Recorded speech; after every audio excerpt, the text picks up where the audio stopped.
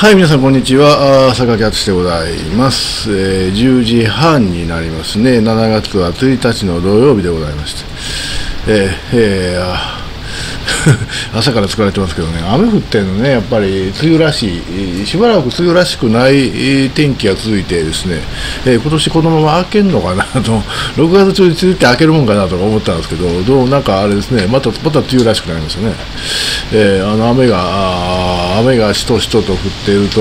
あ今日は風も吹くんですね。はい、行きましょう。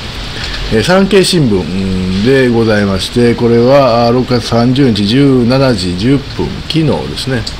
えびっくりしました、これ、尖閣、尖閣諸島の尖閣ですね、発言しないことも選択肢、沖縄知事が陳答弁、陳ですね、うん、変なという意味ですよ。尖閣諸島、沖縄県石垣市の領有権を中国が主張していることについて、えー玉城デニー知事が県議会で発言しないことも選択肢などと答え、物議を醸している。玉城氏は7月3日から訪中するが、その際の言動を危ぶむ声が強まっていると。そうなんですよ。これ、中中国行って何しに行くんやろなと思うんですけど、ほんまに。物議を醸したのは6月26日の県議会本会議での答弁。大浜一郎県議、かっこ自民が知事の訪中中に中国政府要人から尖閣諸島は古来中国の領土だったと言われたらどう対応するつもりか。と質問したのに対し玉木氏はいろいろな対応があろうと思うが発言しないことも一つの対応即答しないことも検討したいと答えた。ほんまか。お前も行くな。ほんまに。こんなやつをね、いつもいつも言いますけどね、沖縄県の人ってね、こんなんをね、自分らの知事に選んでるんですよ。ええあのーこれでね、もうもう同情はできなくなってるんですよ、沖縄県に対して。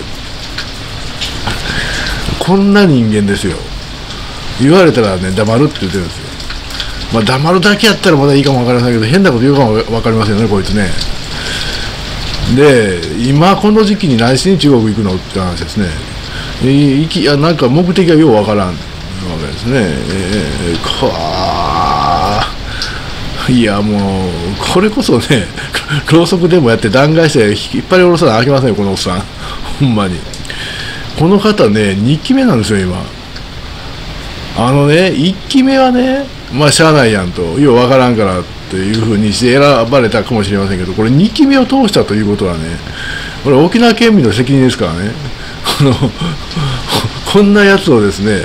あの 2, 2回目もですね知事にしてしまったって、まあ、1回はしゃあないですよさっき言ったように、まあ、要はまだわからないところがあるでしょう。でも2回目まで通してるんですよ。沖縄県何考えてんだと思う ほんまに。いやちょっとだだからね沖縄に対する見方を私は変えました。この人が2期目通った時に。君ら君ら民主主義は分かってないんちゃうかと。でそもそも君ら自分らの立場が分かってないんちゃうかと。こんなやつを知事にしてねだからその知事の4年間って沖縄どうなんのって話ですね。あの中央がですねあのあれ冷たくあしらうわけですよねこいつが。あのね革新系でも左派でも別にいいんですよ。ただねこの 理屈の通った人であればいいわけですよ。通らない人多いですけどね革新系は。こいつ何も考えてないし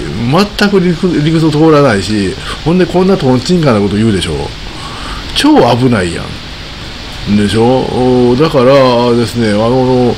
あれですよ。まだねこう大きなね大きな大きな間違いがないんでね。まだあれあれですけどもこうやって毎回毎回ヒヤヒヤヒヤヒヤしなあかんわけでしょ。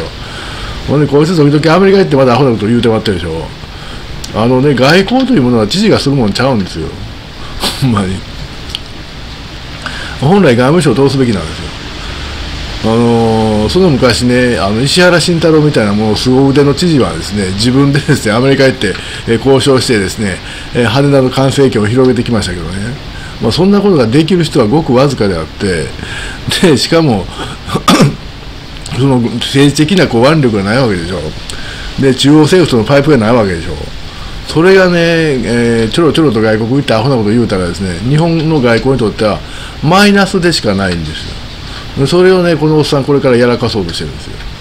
いやー心配や。ほんで一緒に行くのが河野洋平でしょあの太郎ちゃんのお父ちゃん。あいつがね昔々、えー、官房長官の時に河野談話って出してるんですよ。これがですねその後の日本外交を苦しめてるわけですよ。もうもうもうなんていうかこうこいつと河野談話と村山談話っていうのがもうもう早く取り消さなあかんやつですね、えー、でで本人ねまるっきり罪の意識ないんですよ河野洋平も。いやあの河野太郎ちゃんから腎臓移植を受けたらしいですけど それはええとして。ほいでね河野一族っていうのはあの神奈川の湘南地方が本拠なんですけども何やったかななんかのね電気部品かなんかのあの会社製造会社作っていて、えそれのね商売相手はね中国なんですよ。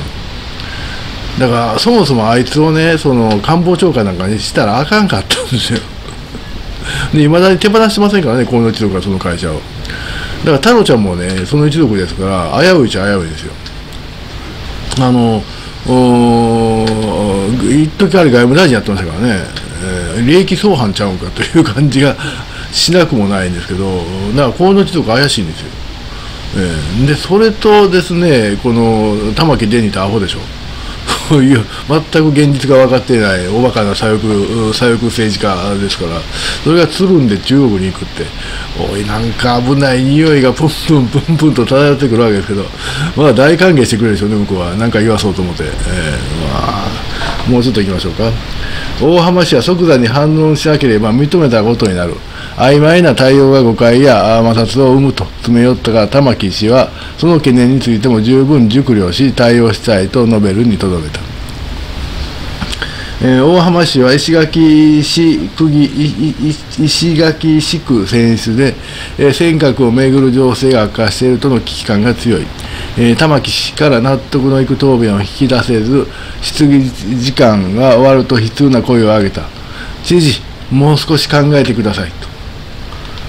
あのー、なんと言いますか、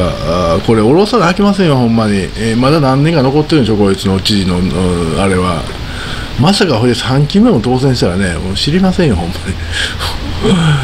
もう本当にね、もうね沖縄県民ってね、何考えてんやろうと思って、あのー、いや、何人かこっちでね、沖縄県の人知ってますけど、大体まともですけどね、えー、でもまあ沖縄も何回か行ったことあるんですけど、ええとこやん。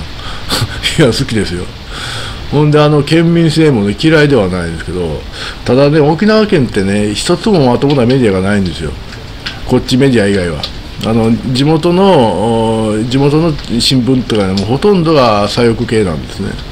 まああのこっちのね本土でもねあの地方紙って大体朝日系列朝日の論調に従うような系列が多いわけわけですね。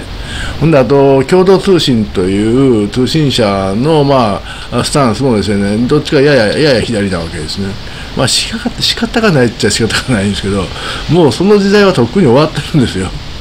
もう30年前に終わってるわけなんですよ。でもね、やっぱしね、そういうね、地元の新聞読むでしょ、あの沖縄県の人も、一部のインテリ以外は地元の新聞読むんですよ。それでね、洗脳されてるんですね。いや、しかしね、かというてね、同情はできませんね。だから、沖縄県、多分この5年、6年、ものすごく停滞してると思うんですけど、それはしゃあない。じゃあないこんな知事をね選んだ県民に責任があるんですよこの先もですねあとこのこいつがいる限りは停滞していくと思います、えー、であの不動産価格だけは上がりますけどもう本土から見るとね勝手にせえやお前らって そういう世界ですよ。特に中央省庁から見るとこの玉城デニーなんていう知事は勝手にしてみたいな最低限のことはしてあげるけどみたいなそういう扱いになってるんだと思います。そんなんを選んでるんですよ。ほんまに。沖縄なんてね変な話あの上手にやったらですねどんどんね予算取ってくれる県やと思うんですよね。それがですねわざわざですねあのそれをそれができないえ中央とのパイプを塞ぐようなですねそのおっさんを知事に選んでるわけであって何の得もないですよはっきり言って、えー、あの停滞してるだけではないですかね。ほんでまたですねこれ中国行っておかしなこと言うたらまたまた大騒ぎになるわけですよ。えー、で何考えてんの？沖縄っていうことになるわけですね。あの全く今のままではですね本土の同情すら得られないというそういう知事がそういうおっさんが知事をやってるというのが沖縄なんですねはいこの産経新聞一応読みましたけどもアドレスを貼っておきます皆さんどうもありがとうございました